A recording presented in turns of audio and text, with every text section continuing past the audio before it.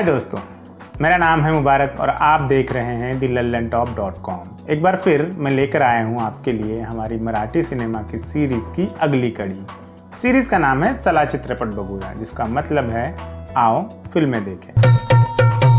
Sex ऐसा शब्द जिससे पूरा भारतवर्ष बिदकता है, जिसका ज़िक्र पर्दे में करने की सलाह दी जाती है, जिसके ऊपर पब्लिक स्पेस में बात करना लगभग पाप माना जाता है। सेक्स के वजूद का सीधा संबंध संस्कृति के वजूद से जुड़ा है।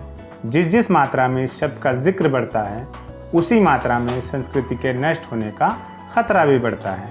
जब बड़ों में ही सेक्स को लेकर आपस में बात करने में इतनी हिचकिचाहट है तो बच्चों के साथ क्या ही बात करेंगे? ऐसे भारत में बच्चों की सेक्स जिज्ञासाओं को लेकर एक फ़िल्म बनती है और एक भी फ्रेम में बिना अश्लील हुए अपनी बात कहने का कारनामा कर दिखाती है। यकीन मानिए, ये बहुत बड़ा करिश्मा है। डायरेक्टर रवि यादव की फ़िल्म बालक पालक एक बे सहज लेकिन सशक्त फ़िल्म है। कहानी बताते हैं। अस्सी का दशक है। इंटरनेट अभी दुनिया में नमूदार नहीं हुआ है। चार पक्के दोस्त हैं, एक ही चाल में रहते हैं। टीनेज की दहलीज पर मंडरा रहे हैं। ये चार लोग हैं, डॉली गावस्कर, जिसे गुड़ियों में कभी दिलचस्पी रही ही नहीं। भाग्येश रेगे उर्फ़ भाग्या। रंगकर्मी पिता की नौटंकी औलाद। बात बात पर अपने पिता के डायलॉग मारता है। तीसरी है आरती पुराणिक उर्फ़ चीव। किसी बाबा में अगाध श्रद्धा रखते परिवार का प्रोडक्ट है यह लड़की। बाबा का फ़ोटो ज्योमेट्री बॉक्स में लेकर चलती है।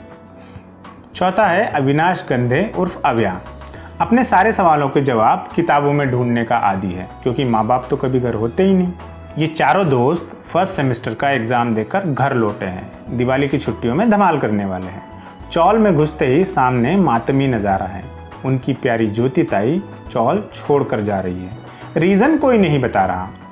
इधर उधर घुसकर जो कुछ थोड़ा बहुत सुन लिया है, उससे मालूम चला कि ज्योति ताई ने गोबर खा लिया है। अब चारों चित्त कम ये गोबर खाना क्या होता है? बचपन में मिट्टी, चौक तो सबने खाया है, लेकिन इसी वजह से किसी को घर छोड़ते तो कभी नहीं देखा। इस गोबर खाने वाले कोड को क्रैक करने के लिए ये चौकड़ी दर दर भटकती है। तबेले में घुसकर पूछताछ करने से लेकर बड़ों से सवाल करके थप्पड़ खाने तक सब हो जाता है, लेकिन जवाब नहीं मिलता। ऐसे में आखिरी सहारा बस विशु ही बचता है। विशु, उनसे दो चार साल बड़ा टपोरी सा लड़का। मुंबई में लावारिस अवस्था में पले बड़े विशु को तमाम उल्टी सीधी चीज़ों की जानकारी है। वही समझा सकता है कि ये गोबर खाना एक्चुअली होता क्या है। विशु उन्हें निराश नहीं करता। उसके ज़रिए जो काम की जानकारी इन चारों के हाथ लगती है, वो ये कि औरत और मर्द के बीच एक गेम होता है। ढिंचैक डिचैक गेम। उस गेम की तमाम जानकारी जुटाने के प्रयास ही बालक पालक फ़िल्म है। जिज्ञासाओं को शांत करने का सिलसिला वो वाली किताबें पढ़कर शुरू होता है। अगला स्टेप उन किताबों को सचित्र में तब्दील करने का है। इन किताबों से हासिल करने लायक सारी जानकारी हाथ लगने के बाद आगे क्या? थ्योरी हो गई, अब प्रैक्टिकल देखना है।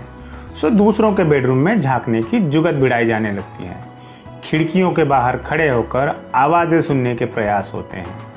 और जब सारी उठापटक के बाद भी कुछ दिख नहीं पाता तो विशु की एक्सपर्ट सलाह पर अंतिम अस्त्र निकालने का फैसला होता है ब्लू फ़िल्म देखने का फैसला।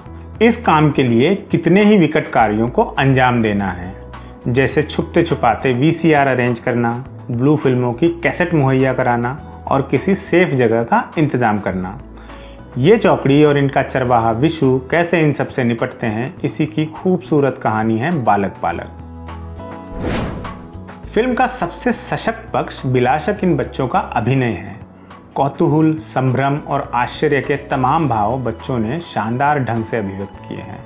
विशु के किरदार में प्रथमेश परब अद्भुत हैं। चारों बच्चे, मदन देवधर, शाश्वती पिंपलकर, रोहित फाड़के और भाग्यश्री संखपाल बेहतरीन कास्टिंग का नमूना है। नई जानकारी से हैरान परेशानी किशोर उन बदलावों को बड़े ही ईमानदाराना ढंग से पर्दे पर उतारने में कामयाब हैं, जो असल में इस उम्र में आते हैं। जैसे भाग्या का अपनी चाल की नेहाताई पर आसक्ति का भाव, जो उससे उम्र में काफ़ी बड़ी है। या अव्या का ये डिस्कवर करना कि च्यू भी तो लड़की ही है। फ़िल्म का सबसे शानदार सीन वो है, जब दुनिया जहान की जद्दोजहद के बाद ये सेना वीसीआर पर फ़िल्म देखने में कामयाब हो जाती है। फ़िल्म शुरू हो गई है। कैमरा टीवी के पीछे से बच्चों के चेहरे पर फोकस्ड है। स्क्रीन पर आ रहे दृश्यों को देखते हुए उनके चेहरे पर जो भाव आते जाते रहते हैं, वो इस फ़िल्म का हाई पॉइंट है। रितेश देशमुख ने इस फ़िल्म के साथ ही मराठी सिनेमा निर्मिति में कदम रखा था। उनको साधुवाद डायरेक्टर रवि जाधव को स्पेशल मार्क देने होंगे।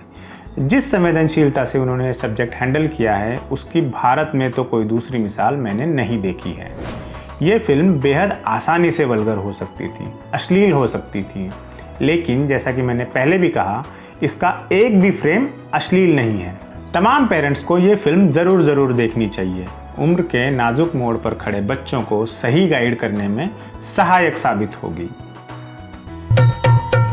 तो ये थी हमारी इस हफ़्ते की फ़िल्म। इसी तरह की और भी अच्छी अच्छी मराठी फ़िल्मों के बारे में जानने के लिए आप देखते पढ़ते रहिए दिल लल्लन टॉप डॉट कॉम। अगर आप फेसबुक पर हैं तो हमारा पेज लाइक कीजिए। अगर आप यूट्यूब पर हैं तो सब्सक्राइब कीजिए।